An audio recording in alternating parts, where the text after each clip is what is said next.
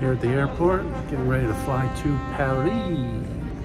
It's my seventh time in the French capital, but I haven't been there in over a decade when I celebrated my lovely daughter Julia's 16th birthday with a candle and a chocolate croissant. So today, I'm headed to the Olympics.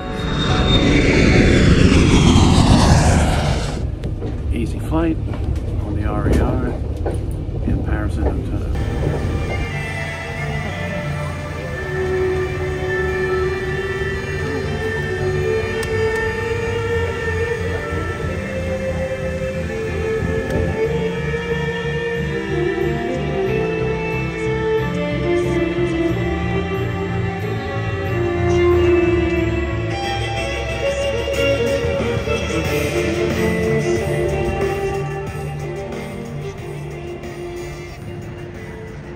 Near my hotel is the lovely Jardin de Luxembourg.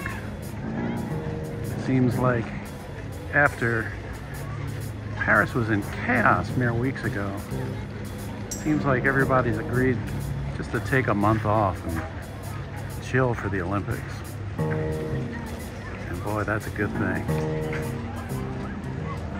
Whiteboard question recently was how many skyscrapers dot the skyline of Paris? And the answer was one. And there it is. Parisians say the best view of Paris is from the top because that's the only place you can see it.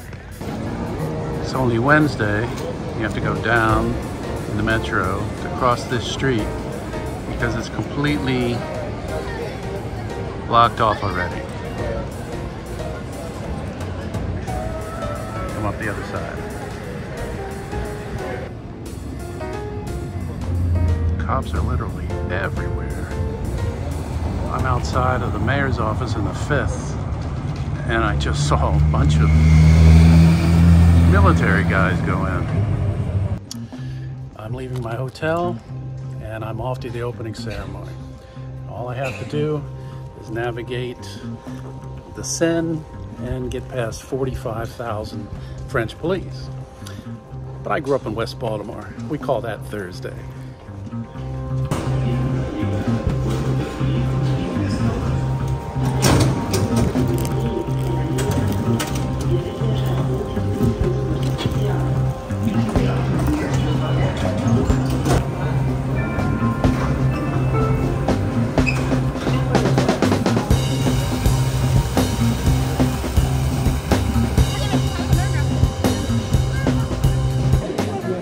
Finally made it to Q1. This is Molly. She's from Philadelphia.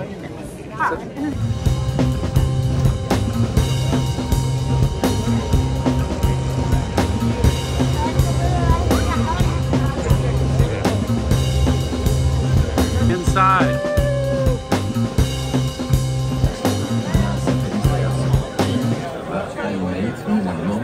Hello, I'm in my seat finally. I'm here with Jeanette. Where are you from? Hi. I'm from uh, Arlington, Virginia. What a coincidence. And we have a front row seat. Oh my goodness. Tunisia. Hey, LeBron!